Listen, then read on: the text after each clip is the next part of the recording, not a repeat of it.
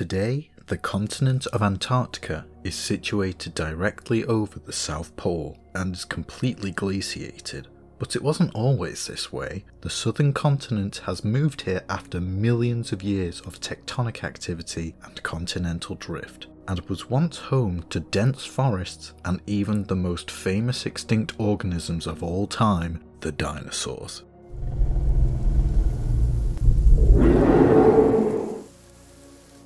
Antarctica was once part of the ancient supercontinent Gondwanaland, or just Gondwana, along with South America, Africa, Australia, Zealandia, and the Indian subcontinent, aka Hindustan. Around 330 million years ago, during the Carboniferous period, Gondwana had merged with the other major landmasses to form an even larger supercontinent, Pangaea. Surrounding Pangaea was the global ocean, Panthalassa.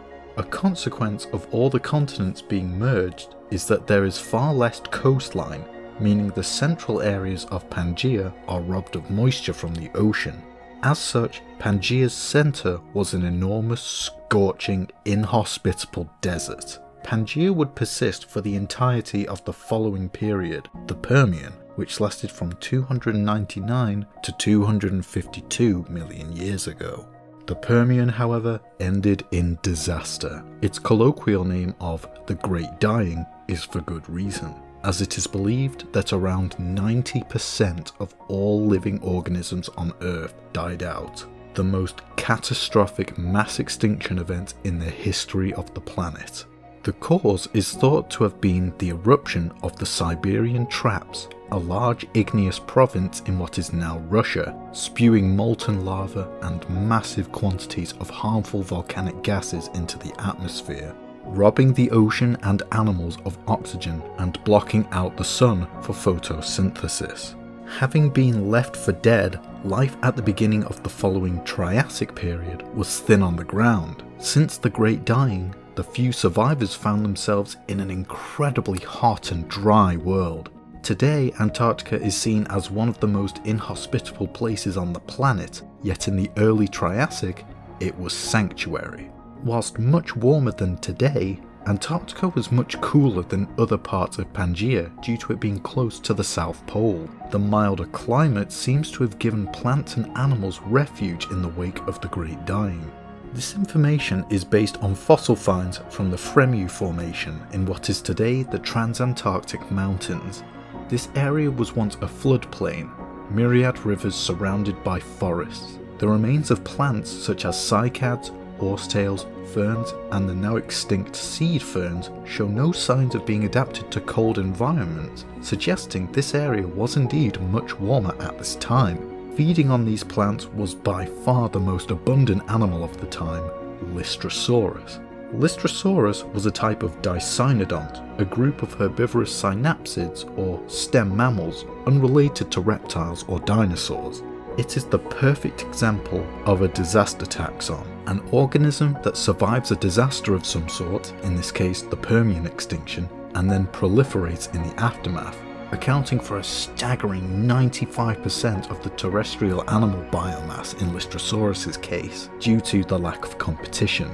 The fact that Lystrosaurus was so abundant in Gondwana even helped support the theory of continental drift, as it was a land animal and was deemed unlikely to have been able to swim from Antarctica to South Africa or India as they are today, meaning they must have reached these places by walking whilst they were connected. Alongside the many species of Lystrosaurus was fellow dicynodont Myosaurus, not to be confused with the dinosaur Maiasaura, there were more than just herbivores in Antarctica at this time, however. Thrinaxodon was a type of cynodont, another type of synapsid that is very close to our own mammalian ancestry. This fox-sized carnivore is thought to have mainly fed on insects. Sharing these ecosystems with the synapsids were ancient reptiles, further supporting the theory that Antarctica was warm. One such reptile was Prolacerta, which despite resembling a lizard, was actually more closely related to the archosaurs, the lineage that would lead to crocodiles, dinosaurs and birds. It was 50 centimeters long and thought to be a swift insectivore. Another such reptile was the iguana-sized Antarctonax, which was only recently named and described in 2019. It too is thought to be related to the archosaurs, and its discovery has made scientists theorize that the archosaurs must have long lineages extending back into the Permian that have yet to be discovered, known as ghost lineages. There is also a large, poorly known reptile known from the Fremouw Formation, which may have been the top predator, but it's too poorly understood to say conclusively. Patrolling the waterways were Temnospondyl amphibians, such as Cryobatrachus and Cryostega, which would have looked like crocodiles crossed with salamanders. Despite being warmer at this time and further from the South Pole than it is today, Antarctica still would have undergone the annual phenomena of midnight suns, where the sun does not set for several months in summer, and polar nights, where the sun does not rise for several months in winter. Researchers have noted that many of the animals found at Fremouw were smaller than their Permian forerunners and were burrowers.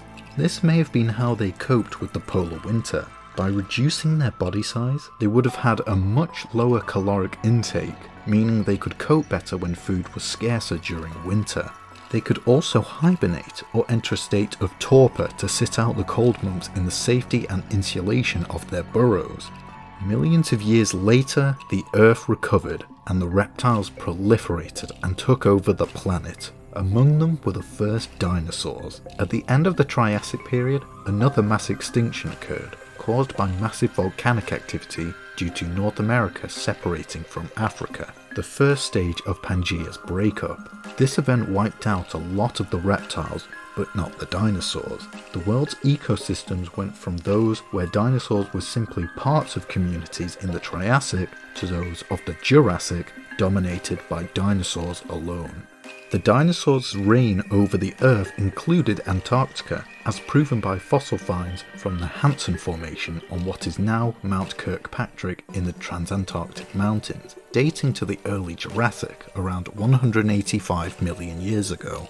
It was around this time that Gondwana was also breaking up, made evident by volcanic rocks found here as a result of the Karoo and Ferrar large igneous provinces, regions of volcanic activity in South Africa and Antarctica, respectively.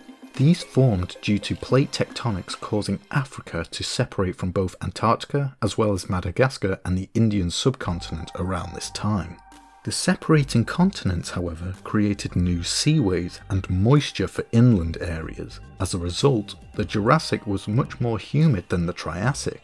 The Hanson Formation was deposited near an active volcanic fault in a rift valley that would one day become the Transantarctic Mountains, dividing east and west Antarctica. Throughout the Triassic, Pangaea had been drifting northwards, meaning Antarctica was warmer than it had been in the early Triassic. This warmer, humid environment supported large conifer forests with monkey puzzles and podocarps. The understory would have consisted of ferns, tree ferns, mosses, and club mosses. Feeding on these plants was Glacialosaurus, a sauropodomorph dinosaur that was a relative of Plateosaurus, Massospondylus, and the later true sauropods. At 6 meters long, it was a large animal for the time and would have used its long neck to browse on the conifers. Interestingly, there are unnamed bones assigned to true sauropods from the Hanson Formation. The apex predator of this environment was the crested theropod dinosaur Cryolophosaurus. Its placement on the theropod family tree has been all over the place. The most recent study places this carnivore as more derived than Coelophysis, but more basal than ceratosaurs and tetanurans, with its two closest relatives being Zupaysaurus from late Triassic Argentina and Dilophosaurus from early Jurassic North America. Cryolophosaurus was actually the first dinosaur named from Antarctica. There have also been remains of other theropods similar to Coelophysis found here, but these have not been thoroughly named or described yet. There is also a presumed Ornithischian dinosaur from this location that has yet to be described. The Hanson Formation also yields a flying pterosaur similar to Dimorphodon from the early Jurassic of England that has yet to be described and named. There was also a Tritylodont cynodont said to be similar to the modern wolverine. Millions of years later, towards the end of the Cretaceous period, the age of the reptiles was coming to an end. Regardless, dinosaurs continued to thrive on the continent and had diversified massively over the last 100 million years or so, with one group evolving into modern birds. Whilst Cryolophosaurus was the first dinosaur from Antarctica to be named, Antarctopelta was the first to be discovered. It was a type of ankylosaur, four-legged herbivores covered in heavy armour. For many years, it was thought that ankylosaurs came in one of two forms, the ankylosaurids, which were bulky with thick bony clubs at the end of their tails for swinging at predators, and nodosaurids, which lacked tail clubs but had spikier armour. When Antarctopelta was described, they were unsure which group it belonged to, as it didn't have any truly distinctive features of either group. This was shaken up by the discovery of Stegouros, a small ankylosaur from the late Cretaceous of Chile, with a distinct tail club that reminded its describers of the Aztec weapon Macuahuitl. They also found that Stegouros shared similarities with Antarctopelta, as well as Kunbarrasaurus from Australia. This led them to coin a new group, the Parankylosauria. This group seemed to be endemic to Gondwana, and suggest that South America and Australia were able to exchange fauna via Antarctica, as the three continents were all still connected at this time. The remains of Antarctopelta were found in the Santa Marta Formation in what is now James Ross Island in the Antarctic Peninsula, dated to around 75 million years ago. Strangely, it consists of marine sediment and it is believed that an Antarctopelta was washed out to sea by rivers before it sank to the seabed. Inhabiting this sea was the marine lizard Taniwhasaurus, a type of mosasaur adapted to the cooler waters closer to the South Pole. It shared these waters with Eubostrychoceras, I think I'm pronouncing that right, an ammonite cephalopod with an exotic helically wound shell. In the slightly younger Snow Hill Island formation, also of James Ross Island, the ornithopod dinosaurs Morrosaurus and Trinisaura were found. These were both roughly 3 metres long and were thought to be fast bipedal herbivores. It is possible they had a covering of feathers to keep them insulated in their relatively cold climate compared to the rest of the world in the late Cretaceous. They would have lived alongside the bird-like theropod Imperobator. Not much is known about this animal as it is only known from a single left foot, but estimates put the entire creature around a similar size to Utahraptor at around 3 to 4 metres long. Unnamed titanosaur bones have also been found in this formation. Their discovery marked the finding of sauropod fossils on every continent. An unidentified pterosaur is also known, thought to be an azhdarchid similar to Quetzalcoatlus. They would have lived in coastal forests of mixed conifers like monkey puzzles and podocarps, but likely also species of the flowering plant Nothofagus, the southern beech. These are all members of the Antarctic flora, a specific community of plants that thrive in the landmasses that once constituted Gondwana. Today, these places include southern South America, Australia, New Zealand, and New Caledonia. They thrived in Antarctica as well until the entire continent became glaciated in the Ice Age. Together, they form the Antarctic Floristic Kingdom. The Lopez de Bertodano Formation was deposited at the very end of the Cretaceous period, 66 million years ago, when it is thought a massive meteorite named the Chicxulub Impactor struck the Gulf of Mexico, and the resulting devastation caused the extinction of the non-avian dinosaurs, as well as many other large reptiles. This is made evident by the discovery of iridium deposits here, Iridium is very rare on Earth but is common in asteroids, suggesting it is debris from the meteorite impact. Living alongside Morrosaurus were ancient birds, some of which already resembled modern groups and may even belong to said groups. One such example is Vegavis, thought to be very similar in lifestyle to modern waterfowl such as ducks, and may even be a true member of this group, which would suggest that modern bird groups may have already appeared by the late Cretaceous. It was most likely aquatic and fed on small fish and crustaceans. Another bird, Polarornis, may have been a stem loon, similarly thought to die for fish due to it displaying osteosclerosis, aka dense bones, a common adaptation for diving. This suggests that some modern bird groups were not only present during the Cretaceous, but seem to have lived through the extinction event at the end of the period, relatively unaffected. This just about concludes an approximate history of dinosaurs in Antarctica, a fascinating world lost to ice. Thank you so much for watching and I hope you enjoyed. Bye bye now.